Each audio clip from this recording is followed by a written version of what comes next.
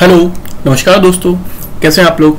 दोस्तों, अब वो समय आ गया है कि अब आप अपनी जो भी आपने तैयारी की है, वो ठीक है। अब आगे आप थोड़ा सा अपने माइंड को रिलैक्स दीजिए। ठीक है?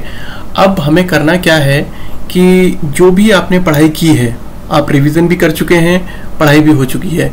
तो अब जितना हो गया है, देखिए, कभी भी ऐसा नहीं होता कि आदमी सब कुछ पढ़ ले, क्योंकि दिमाग में ये चलता रहता है कि मेरी ये चीज़ छूट गई है, ये चीज़ छूट गई है, मगर इससे आप टेंशन मत लीजिए। अब जो छूट गया है, वो छूट गया है। कभी भी जो आई मतलब ये समझिए टॉप भी करता है ना, उसका भी कुछ ना कुछ पोर्शन छूटा ही हुआ होता है।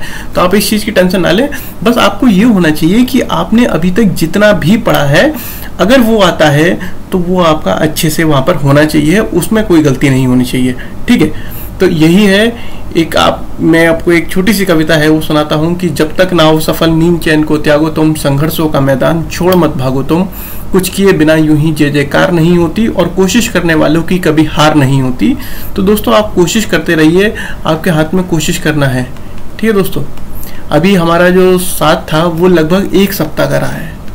एक सप्ताह से ही हम लोग आपस में इतना जुड़ पाए हैं, इतना कनेक्ट हो पाए हैं कि मैंने आपको इतना, जो भी मैं कर सकता था वो मैंने आपको डिलीवर किया।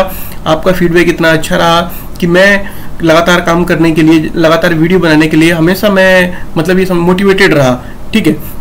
आगे भी ये हमारा सफ़र जो है वो चलता रहेगा। अभी जो एग्ज़ाम है वो पाँच तारीख से स्टार्ट है और आठ तक चल रहा है लगभग। ठीक है? तो आपका ये जो एग्ज़ाम है, ये अच्छे से दीजिए। पाँच तारीख को जब एग्ज़ाम हो जाएगा तो शाम को मैं इसका आपको रिव्यू डालूँगा कि एग्ज़ाम कैसा आ रहा है, जो लोगों का पाँच का है, वो कृपया आकर कमेंट सेक्शन में आप बताएँ कि आपका ये एग्ज़ाम कैसा हुआ। इसी वीडियो के कमेंट सेक्शन में आप बता दें और किस टाइप के क्वेश्चन आए थे, ताकि जब हम ओवरऑल वीडियो बनाएँ तो पता चल पाए कि वीडियो कैसा रहा मतलब कि एग्ज़ाम कैसा रहा था, और जिससे आने वाले लोगों के लिए थोड़ी सी हेल्प मिल पाए। ठीक है दोस्तों तो ये आपको करना है, जब आप एग्ज़ाम दे के आए तो ये करना है। उसके अलावा, देखिए दोस्तों, आपने करा क्या है, जितनी भी आपने पढ़ाई की है, आप ये सोचिए कि आपने सिर्फ़ उतनी पढ़ाई नहीं की है, आपने पढ़ाई की है पहली क्लास से लेकर ग्रेजुएट हुए हैं आप, यानी कि आपने पंद्रह साल की की है। बारह ट्वेल्थ तक तो आपके ये हो गए, फिर तीन या चार साल की आपकी ग्रेजुएशन रहेगी तो पंद्रह से सोलह साल आपने पढ़ाई की है। तो आपने आपको कम मत समझिए आप कि आपने सिर्फ़ एक या दो महीने की तैयारी की है। ये भी तैयारी आपके वहाँ पर पेपर में काम देने वाली है। ठीक है? कभी कभी ऐसा होता है एग्ज़ाम में ऐसा क्वेश्चन आता है, जो हो सकता है हमने सेवन्थ में पढ़ा हो एट्थ में पढ़ा हो, जिसके लिए हो सकता है हमें मार भी पड़ी हुई हो, है ना? तो ऐसा क्वेश्चन आपको मिल जाएगा तो वो आपको अच्छे से नंबर दिलाएगा। आपको थोड़ा सा ध्यान ये रखना है कि आप निगेटिव मार्किंग जो है, उस पर थोड़ा सा, क्योंकि निगेटिव मार्किंग वन फोर्थ होने वाली है तो आपको ध्यान ये रखना है कि ऐसा ना हो कि आप गलत ज़्यादा कर दें। आप उतना ही अटैम्प्ट करें। अब ऐसा भी नहीं होना चाहिए निगेटिव के चक्कर में कि आपसे कोई भी क्वेश्चन नहीं हो पा रहा, है ना? अगर आपसे पेपर सॉल्व ही नहीं हो रहा है मतलब 10 परसेंट या 20 पर मतलब ये समझ लीजिए कि अगर आपका 60 से 70 परसेंट सॉल्व हो गया ठीक है, फिर आप निगेटिव के चक्कर में ना पड़े, आपका इतने पे ही सिलेक्शन हो जाएगा। मगर अगर आप गलत ज़्यादा कर देंगे तो आपके ये भी ले डूबेंगे हो सकता है आप 40 परसेंट पे आ जाएँ। तो इसलिए निगेटिव मार्किंग का आपको विशेष ध्यान रखना है। अच्छा तुक्का लगाना, नहीं लगाना, इसके मैं बारे में आपको बता देता हूँ। तुक्के में करना क्या है आपको कि अगर चार ऑप्शन है, मान लीजिए और चार में से अगर आप दो एलिमिनेट ये कर पाते हैं कि ये दोनों तो आंसर नहीं हो सकते, तब आप पहले या दूसरे में से तुक्का खेल सकते हैं। सिर्फ़ इसी स्थिति में आप करेंगे अदरवाइज़ आप ये ना करें, ठीक है? अगर दो एलिमिनेट कर देते हैं, तब आप करें और ना करें, यही मेरी सलाह है। और इसके अलावा आप एग्ज़ाम सेंटर पे बिल्कुल टाइम से पहुंचें जो भी आपका समय हो उससे एक दो घंटा पहले मार्जिन आप बना के चलें कि आप जो है ये कर पाएँ। आप अपना पूरे जो आपका एड, एडमिट कार्ड है जैसे कि मैंने बताया था कि आप हो सके तो दो कॉपी लेके जाएँ कि अगर एक मिस भी हो जाए तो दूसरी आपके पास रहनी चाहिए। उसके अलावा आपके पास दो फ़ोटो होनी चाहिए और जो आपकी आईडी है एक ओरिजिनल आई लेके जाइए आप अपनी ठीक है? पैन कार्ड वगैरह, आधार कार्ड वगैरह ओरिजिनल आईडी हो सके तो एक फ़ोटो कॉपी भी करा लीजिए। वैसे ज़रूरत नहीं पड़ेगी, मगर फ़ोटो कॉपी भी होनी चाहिए। अगर लास्ट समय पर ज़रूरत पड़े तो वहाँ पर दुकान नहीं मिलेगी आपको आसपास। ठीक है? तो ये सारे चीज़ें होनी चाहिए। उसके अलावा जब आप कॉलेज के अंदर जा रहे हों तो जो भी चेकिंग स्टाफ होता है, उससे बहुत ही पोलाइटली बात करनी है। कोई वो नहीं कर रहा है, वो उसकी ड्यूटी कर रहा है अपनी। ठीक है? तो आप अच्छे से करें, क्योंकि किसी भी तरीके का हमारा मिसकंडक्ट जो है, हमें एग्ज़ाम से आउट कर सकता है। इसलिए ना ही जो चेकिंग स्टाफ है और ना ही जो वहाँ पर आपका जो इन्विजिलेटर हैं, उनसे भी किसी प्रकार की बदतमीजी नहीं करनी है। ठीक है? इन सब चीज़ों का ध्यान रखें और आपके हाथ जो हैं, वो धुले हुए होने चाहिए। देखिए उस पर इंक वगैरह ना हो, जिससे कि क्योंकि वहाँ पर आपका बायोमेट्रिक होने वाला है तो आपके फिंगरप्रिंट ठीक तरीके से आ पाएँ। ठीक है दोस्तों? फिंगरप्रिंट के बाद ये हो गया और हाँ ये चीज़ें आपको फॉलो करनी है। और हाँ डाइट पे देखिए, कुछ ऐसा खा के मत जाइए। आप अगर आपका मॉर्निंग में है तो कुछ इतना हैवी मत खा लीजिए कि वहाँ पर आपको नींद आने लगे या फिर कोई डाइजेशन से रिलेटेड प्रॉब्लम हो। आप हो सके तो लाइट खाना लीजिए सुबह के समय पर, ठीक है? लाइट फ़ूड लीजिए। अगर मॉर्निंग में है और अगर दोपहर में भी है, तब भी आपका खाना हल्का होना चाहिए। और खासकर आप डेयरी प्रोडक्ट अगर अवॉइड कर सकते हैं तो करिए, क्योंकि उसके बाद गैस वगैरह बनने लगती है तो वो आपको एग्ज़ाम में दिक्कत कर सकती है। ठीक है तो डेयरी प्रोडक्ट हो सके तो कम से कम लीजिए। अगर आप चाय या कॉफ़ी के शौकीन हैं और आपको उससे एनर्जी मिलती है तो ज़रूर पीजिए। अगर एग्ज़ाम से पहले आप एक दो घंटे पहले भी अगर चाय पीते हैं तो चाय या कॉफ़ी आप जो भी प्रीफर करते हैं, आप उसे पीजिए और अच्छे से आपको, ताकि एनर्जेटिक रहें आप एग्ज़ाम के बीच में। और आपको जैसे कि आज है तारीख, चार तारीख तो चार तारीख की आपको जो नाइट है, वो आप अच्छे से स्लीप करें, ठीक है? तो आपको हो सके तो डीप स्लीप करें यहाँ पर।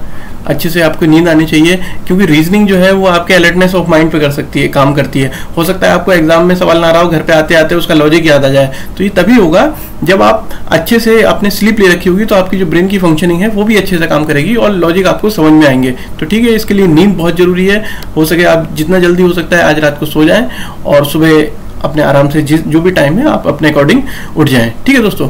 तो ये सारी बातें हैं, ये आपको बतानी थी। देखिए, जैसे एक स्पोर्ट्स पर्सन होता है, वो पंद्रह साल प्रैक्टिस करता है पंद्रह सेकंड की परफॉर्मेंस के लिए। यानी कि आपको जैसे पता होगा कि जो हंड्रेड मीटर की रेस होती है, वो आपने नाम सुना होगा उसेन बोल्ट उनका तो नौ सेकंड का ही वो था। मगर ये सोचिए कि उनके पीछे उनका कितने साल का कठिन परिश्रम रहा है। तो उसी तरीके से आपका जितना भी इसमें रहा है, जितना आपने तैयारी की है, उस हिसाब से आपको ये देखना है कि जितना आपने अभी तक किया है, कम से कम वो अच्छा होना चाहिए, ठीक है? और मेरी तरफ़ से आपको बहुत बहुत शुभकामनाएँ हैं कि आपका एग्ज़ाम अच्छा होगा। आप पूरी मेहनत कीजिए। जैसे कि मैं आपको बताता हूँ, अगर आपकी तैयारी कम भी है तो भी आप पूरे कॉन्फिडेंस से एग्ज़ाम दीजिए। जब मैं पहले बैंक के एग्ज़ाम देता था तो बैंक के एग्ज़ाम में जब मेरी थोड़ी तैयारी कम होती थी तो एक पोर्शन मेरा हमेशा मज़बूत होता था, उसका नाम था कंप्यूटर तो कंप्यूटर पोर्शन जब मेरा मज़बूत था, जैसे मान लीजिए पचास सवाल आते थे तो मेरे हमेशा पैंतालीस तक उसमें ठीक होते थे. जब मेरा आईबीपीएस में बैंक में सिलेक्शन हुआ था तो भी कंप्यूटर का उसमें काफ़ी बड़ा रोल रहा था. तो जब मेरा, जब मैं फेल होता था तो उस समय में भी मेरे, क्योंकि स्कोर कार्ड में मैं देखता था कंप्यूटर नंबर अच्छे आते थे। क्योंकि मैं ये सोच ही जाता था, जो मुझे आता है कम से कम, वो तो मेरा गलत नहीं होना चाहिए। तो इससे भी मुझे एक मोटिवेशन मिलता था कि हाँ अब मुझे अगले एग्ज़ाम में और अच्छे से करना है। ठीक है दोस्तों तो ये एग्ज़ाम है, ये एग्ज़ाम आप अच्छे से दीजिए। और उसके अलावा आपको पता होगा कि मैंने आपको सबको इन्फॉर्म किया था कि ICMR के अंदर वैकेंसी निकली हुई है। अभी भी जैसे देखिए, आपका ये एग्ज़ाम तो चल ही रहा है। हो जाएगा। अगर आपका सिलेक्शन हो जाता है तो और अच्छा है मेंस की भी तैयारी चलती रहेगी। और अगर आपका किसी वजह से नहीं हो पाता है तो उसके लिए भी आप परेशान ना हो, क्योंकि एक रास्ता बंद होता है तो कई दूसरे रास्ते खुल जाते हैं।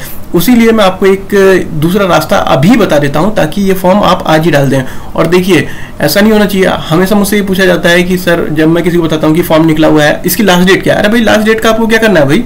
आपको आज पता चला है तो आज फॉर्म डाल दीजिए, है ना? लास्ट डेट का आपको इंतज़ार नहीं करना है। तो इसीलिए मैं आपको ये बता रहा हूँ, आज जब आप सोएँगे तो ये वाला फॉर्म डाल के सोएँगे। ये मेरी आप सबको सलाह है कि आप ये फॉर्म डाल के ही सोएँ ताकि आपका ये पेपर में कुछ ऊपर नीचे होता भी है, तब भी आपके पास एक अपॉर्चुनिटी रहेगी कि हाँ भाई, ये तैयारी। और इस एग्ज़ाम के लिए मैं आपको हर तरीके से मटेरियल प्रोवाइड कराऊँगा, आपके लिए मतलब नोट्स भी बनाऊँगा, सब कुछ आपको मिलेगा। अभी मैं इस एग्ज़ाम का एडवर्टाइजमेंट जो है, वो डिस्क्रिप्शन में पेस्ट करूँगा, आप वहाँ से डाउनलोड कर देंगे और इसका फॉर्म का लिंक भी मैं पेस्ट करूँगा, ताकि आप ये डायरेक्ट एक्सेस कर पाए, ठीक है? इस वैकेंसी के बारे में और आगे जो हमारा प्रोग्राम चल रहा है, जैसे कि मैंने आपको बताया है कि हम बहुत जल्दी जो है वीडियो कॉन्फ्रेंसिंग के माध्यम से चालू करने वाले हैं काउंसलिंग एक तरीके से ऐसे बच्चों को एड्रेस करने वाले हैं, जिनके साथ कोई ना कोई प्रॉब्लम चल रही है, जिस वजह से वो एग्ज़ाम क्वालिफाई नहीं कर रहे हैं, कभी उनका कुछ कमज़ोर हो जाता है, या कोई भी ऐसा पोर्शन कि उनके लिए कौन सा एग्ज़ाम ठीक रहेगा, ठीक है? जिससे कि वो बेहतर, और जल्दी से जल्दी, जो काम दो साल के अंदर होने वाला, मान लीजिए चार साल के अंदर जॉब मिलने वाली थी, वो कैसे वो दो साल के अंदर ले सकते हैं? मतलब कैसे स्मार्ट वर्क करना है? इसमें ये होने वाला है। अभी इसके बारे में मैं आपको और डिटेल में अभी बताऊँगा, मगर ये हाल फ़िलहाल में नहीं, इसमें अभी लगेगा, समय लगेगा, दो से तीन हफ़्ते लग सकते हैं। मगर तब तक आपको करना क्या है, ऐसे लोगों को आपको संपर्क में लाना है। हमारे चैनल से आपको जोड़ना है ऐसे लोगों को, जिन्हें वाकई में हमारी ज़रूरत है, जिन्हें काउंसलिंग की ज़रूरत है। तो आप क्या करिए, आप जितना भी समय है फिर उसके बाद क्या होगा? इसमें ईमेल के थ्रू आपका अपॉइंटमेंट मिलेगा कि आपका समय ये है, इस समय पर आपको तैयार रहना है, उस समय पर आपकी वीडियो कॉन्फ्रेंसिंग होगी। और अगर ऐसा हो सकता होगा, जहाँ पर वीडियो कॉन्फ्रेंसिंग संभव नहीं है तो वहाँ पर ऑडियो से भी आपकी समस्या को एड्रेस किया जाएगा और आपकी समस्या को सॉल्व करने का पूरा प्रयास किया जाएगा। आपको गाइड किया जाएगा कि आपको कैसे करना है। ठीक है दोस्तों तो आप सभी की जितने भी मेरे नए सब्सक्राइबर हैं और जो पुराने सब्सक्राइबर हैं, मुझे पता है जो पुराने लोग हमसे जुड़े हुए हैं, वो और और लोगों को वीडियो शेयर कर रहे हैं जिससे कि हमारे पास ज़्यादा से ज़्यादा, क्योंकि मुझे पता चलता है यहाँ पर, जब मैं पैनल में चेक करता हूँ तो मुझे पता चलता है कि कितने लोगों ने मेरा वीडियो शेयर किया है, कितना नए सब्सक्राइबर आ रहे हैं डेली का पता चलता है। तो मुझे, बहुत ही अच्छा आप लोग काम कर रहे हैं और इसी तरीके से आप आगे भी करते रहिए, क्योंकि जैसे कि मैंने आपको बताया, मेरा टारगेट है कम से कम दो से तीन महीने के अंदर मैं दस हज़ार लोगों को गाइड कर पाऊँ, उनकी काउंसलिंग कर पाऊँ, ताकि वो अपना करियर में अच्छे से अच्छा प्रोग्रेस कर पाए, ठीक है? तो अभी आपके लिए ये गिफ्ट है एक गिफ्ट समझ लीजिए कि ये जो एग्ज़ाम इस समय की निकली हुई है, वो है आईसीएमआर देखिए, मैं डायरेक्ट आपको वेबसाइट पे ले आता हूँ। ये है website I C M R Indian Council of Medical Research. यहाँ पर आपको करना क्या है, न्यू रजिस्ट्रेशन करना है आपको जाकर। और सबसे पहले आपको नोटिफिकेशन दिखा देता हूँ। ये जो नोटिफिकेशन है, इसके अंदर वैकेंसी निकली हुई है, इसमें निकली हुई है पीए की। अगर कोई स्टेनोग्राफर है, वो भी इस पोस्ट को डाल सकता है। यदि कोई ग्रेजुएट बंदा है और यूडीसी के लिए एलिजिबल है तो यूडीसी के लिए डाल सकता है और असिस्टेंट के लिए डाल सकता है। यूडीसी के अंदर थोड़ी वैकेंसी ज़्यादा है, जैसे देखिए खुल गया ये। इसके अंदर लास्ट डेट जो है, वो नौ तारीख है। आपको नौ तारीख का इंतज़ार नहीं करना है। आज मैं ये बना रहा हूँ, तीन, चार तारीख को तो आपको चार तारीख को ही जो है ये फॉर्म डाल देना है। ये मेरी आपसे हाथ जोड़कर रिक्वेस्ट है कि आप इस फॉर्म को डाल दीजिए। ठीक है? यहाँ पर असिस्टेंट की भर्ती निकली हुई है, इसमें चार वैकेंसी हैं। इसमें तो कम है, देखिए जनरल की तीन है और इसमें एक है। अगर कोई ऐसा व्यक्ति एस और एसटी का है, वो भी इस फॉर्म को डाल सकता है, ठीक है? मगर शर्त यह है कि वो जनरल के क्राइटेरिया में आ रहे हो। उसका जो एज है, वो जनरल में होनी चाहिए, यानी कि जो इसके लिए एज है, वो मैं बता देता हूँ, इसकी तीस साल एज है। अगर आप एस सी के हैं और आपको एज का रिलैक्सेशन नहीं चाहिए तो आप इस पोस्ट के लिए भी डाल सकते हैं, ठीक है? और यहाँ पर आप यूडीसी में देखिए यूडीसी में निकली हुई है, चौंसठ वैकेंसी इसमें थर्टी फोर जो है वो जनरल की हैं और एस की नौ है और यहाँ पर चार और सत्रह। ठीक है? तो आप इसको और यहाँ पर पर्सनल असिस्टेंट ही एक प्रकार का स्टेनो है जिसमें स्टेनोग्राफी मांगी जाती है। इसके अंदर तीन है, तीन जनरल की पोस्टें हैं और जो हमारे हैंडीकेप्ट भाई हैं, उनके लिए भी यहाँ पर हैं। ठीक है? तो इस फॉर्म को आप डाल दीजिए। इसमें देखिए क्वालिफिकेशन में आपको दिखा देता हूँ। बैचलर है, वो तीन साल की मिनिमम होना चाहिए। ठीक है? क्योंकि बैचलर बीटेक कोई बैचलर में ही आ गया, वो चार साल का होता है तो इसमें कम से कम तीन साल का तो होना ही चाहिए। उसके अलावा आपकी टाइपिंग स्पीड पैंतीस की मांगी है हिंदी में या तो तीस की हो। ठीक है तो टाइपिंग के लिए आप टेंशन ना लें। टाइपिंग मैं खुद करता हूँ, अस्सी पिचासी तक की स्पीड आती है, वो आप लोगों की मैं तैयार करा दूँगा साथ में। ठीक है, उसके अलावा अगर हम इसका सिलेबस की बात करें तो सिलेबस में इसका ज़्यादा कुछ नहीं आएगा, वही आएगा जो ज़्यादातर एसएससी वगैरह का जो पैटर्न है। उसमें देखिए, इसमें आने वाला है जनरल इंग्लिश क्वान्टिटिव एप्टीट्यूड यानी मैथ आएगी रीजनिंग आएगी और जी आएगी। ठीक है तो ये सारे आपके कवर करा दिए जाएँगे। इस एग्ज़ाम में मैं पूरी तैयारी की आपकी ज़िम्मेदारी ले सकता हूँ, क्योंकि अभी जो राज्यसभा का एग्ज़ाम है, इसमें तो हम एक सप्ताह पहले ही मिले थे। मगर इस एग्ज़ाम में हम शुरुआत से साथ रहेंगे आपके और आपको गाइड करते रहेंगे। देखिए, ऐसा नहीं होना चाहिए कि अगर कोई आपका टीचर चला जाए तो आप बिल्कुल ब्लैंक हो जाए। इसीलिए मैं जो है आप लोगों को पहले गाइड कर रहा हूँ ताकि आपकी, आप सेल्फ रिलेवेंट बने। मतलब अपने ही पैरों पर खड़े हो जाएँगे। उससे ये होगा कि आपके पास कोई टीचर रहे ना रहे, आपकी तैयारी का लेवल कभी भी कम नहीं होगा। आप तैयारी पूरी फुल स्विंग में करेंगे। ठीक है?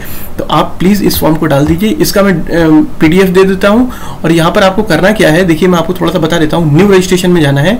न्यू रजिस्ट्रेशन में जाकर आपको यहाँ पर रजिस्ट्रेशन कराना है। पोस्ट अप्लाइड में अगर आप, देखिए, इसमें आप ऐसा करिए, आप अगर स्टेनो के लिए नहीं भरना चाहते हैं या कोई स्टेनो के भरना चाहते हैं तो वो तीनों पोस्टों के लिए एक ही फॉर्म है, ठीक है? तो तीनों पोस्टों के लिए आप एक साथ अप्लाई कर सकते हैं। अलग अलग अप्लाई नहीं करना है। यदि कोई व्यक्ति ऐसा है जो असिस्टेंट और यूडीसी के लिए अप्लाई करना चाहता है तो वो ये करेगा।